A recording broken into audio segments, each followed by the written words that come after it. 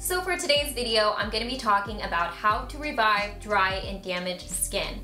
I wanted to highlight this in a skincare video because I feel like at some point in our lives, we experience the debilitating feeling of damaged skin or a compromised skin barrier. So I'm gonna talk about how to fix that problem if you're experiencing redness, sensitivity, dryness, itchiness, irritation, all of those things we are going to cover in this video. So without much further ado, let's go ahead and get started. Now for today's video, I did partner with Skin 1004 to talk about not only the products that I have been enjoying, but show you guys how I have been using them to revive dry and damaged skin.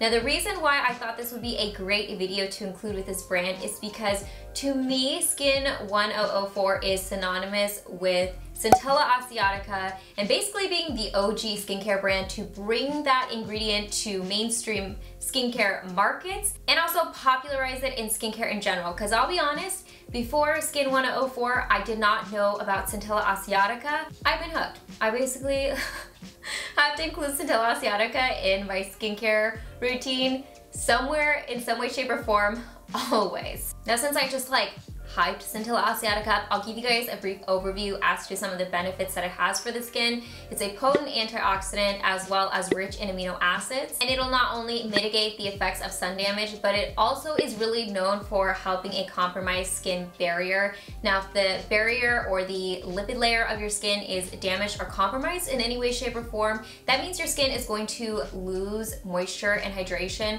more easily. It can't retain it in the skin itself. It basically is the thing on your skin that keeps the good things in and the bad things out. Centella Asiatica is also great for all different skin types. I have dry sensitive skin, so it's excellent for that. It's also good for acne prone skin or oily skin, so any type of skin type can benefit from Centella Asiatica. So when it comes to skincare recovery, the most important thing to focus on is being gentle with the skin. We don't want to aggravate it anymore. In fact, we want to bolster up the skin's barrier and supplement it with things that are going to not only help rebuild the skin, but protect the integrity of the skin. Not only will include ingredients like Centella Asiatica, but hyaluronic acid is also an amazing humectant to include in your skincare products or look for because it attracts moisture to the skin and basically holds it there. Another thing to look out for is to avoid any added artificial fragrances or colorants.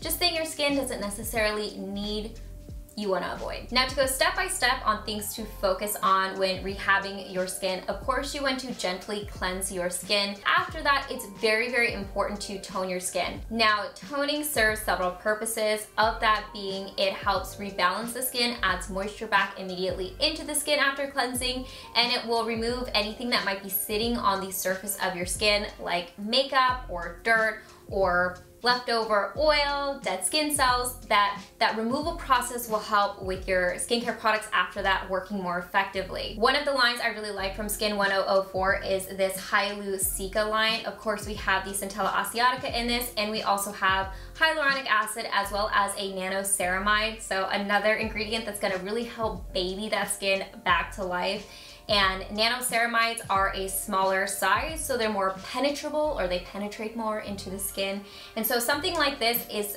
a product that I can either use on a cotton swab and swipe it over my skin but if I want to remove any aggravating factors from this step I can even just pour some of this into my palm of my hand pat it into my skin and I'm good to go. Now another reason that I really like this besides the ingredients in it is it does have a cooling sensation and you guys know if you've ever experienced irritated skin how hot and prickly it can feel. So just having that like cooling, calming, soothing effect on the skin really just allows my skin to feel like it's breathing again, if that makes sense. Another recommendation I have with toners if you are experiencing irritated skin is to layer up on them. The reason that I like doing this is because toners are one of the most thinnest consistency products in your routine. So it's not gonna add like excess bulk to your skin or your routine. It's just gonna allow your skin to absorb what it needs and just really rush all that moisture immediately to your face. So it's something that you can adjust depending on what your skin's needs are. Now next, I like to use a serum. Serums for me are the most concentrated step of your skincare routine. And when it comes to rehabbing your skin, you wanna make sure you're focusing again on adding hydration, building up that skin's barrier, and just giving your skin the life it needs through hyaluronic acid, Centella Asiatica, the nanoceramides, and all the other ingredients that I've been mentioning throughout this video. This is from the same line, the Madagascar Centella Hyalu-Cica. This is the blue serum. And again, the reason why I like this is because this is such a watery serum, but it doesn't just like slip off your skin. And it has, again, that cooling sensation that's going to really help soothe irritation, but it's also not going to feel heavy or sticky on the skin. You'll see in the B-roll, I'm like doing the most to show you how non-sticky or tacky this is.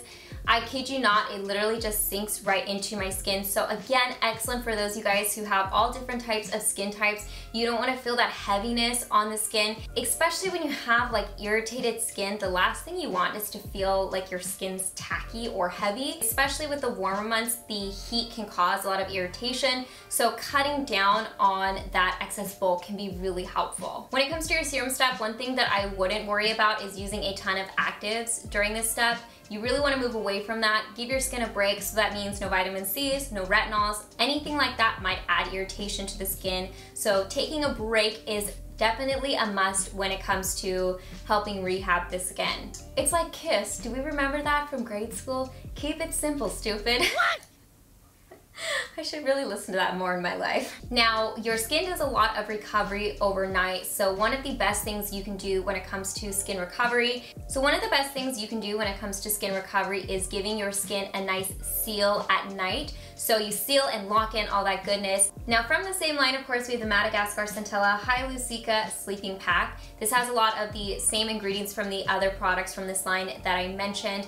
And again, the texture of this is really unique. It is extremely watery and lightweight. This is literally one of the most lightweight sleeping packs I've ever used. So your skin's not gonna feel smothered, but it's going to supplement the recovery of your skin. And an added bonus of this product is it has added melatonin. So again, it just helps calm your skin down. I really wish I could like reach to the camera and let you guys try this on your skin and just see how amazing this feels. Now, if you haven't figured it out yet, one of the main takeaways from this video is not only to be gentle, but to moisturize, moisturize, moisturize with effective ingredients that are gonna help soothe and calm the skin down.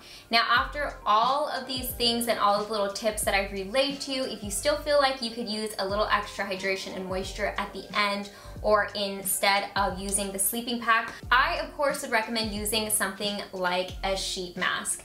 Now a sheet mask can be stored in the fridge so when you put it on your skin it does again have that like extra cooling sensation and this specifically is a water gel bamboo style type of sheet mask so it holds onto moisture a lot longer. This mask that I'm talking about specifically is the Madagascar Centella Water Gel Sheet Ampoule Mask. So like I said, this is a bamboo based sheet mask. So unlike cotton sheet masks that leach the moisture back out of your skin if you leave it on too long, this doesn't do that, which is so nice because I don't have to like watch the clock to make sure I have it on for the precise amount of time. This will only add moisture back into your skin. Now, like a lot of the other products that I mentioned throughout this video, this doesn't leave your skin oily feeling. And the reason that I'm focusing on that so much is not only because the feeling of you know, heavy oiliness does feel like it's smothering and congesting the skin, but also because I've noticed a lot with products that feel really heavy, a lot of people tend to stray away from that and in turn not moisturizing their skin enough. So to me, it's also really important that you're enjoying the feel of the skincare products on your skin because it's gonna encourage you to keep up and be consistent with using products like this. That's another thing that's so important when it comes to helping dry skin or damaged skin is to be consistent with your moisturization. And another thing that I wanna note is it's really important to pay attention to the quality of the sheet mask that you're using because again, what they're made out of does matter. Like I mentioned, the cotton versus this, which is a bamboo based sheet mask, but the ingredients are gonna be higher quality and the sheet mask overall is gonna be higher quality. So I know a lot of times it's tempting to buy like the very, very affordable sheet mask, which can be fine, but if you wanna notice a big difference, it's really worth it sometimes to invest and buy a higher quality sheet mask like these ones from Skin 1004. So those are my tips for reviving beat up skin. I know we've all been there before, whether it's we're neglecting our skin, our skin's been in the sun too long, we've overwashed it, overexfoliated, used a product that doesn't agree with our skin. It happens, and when it does, it's important to know what steps to take and products to use to help with the skin's recovery so that your skin can look its best and feel its best the fastest way possible. As I always do, I will leave links down in the description box below for all the products that I mentioned in this video. A big thank you again to Skin1004 for partnering with me on this video. Not only do I love their products, but their products worked perfectly with the skincare topic. So I'm excited to partner with them. And as always, I hope you guys are happy and healthy and don't forget to rate, comment, subscribe, share with your friends and family, hit that notification bell, and I'll see you guys in my next video. Bye guys!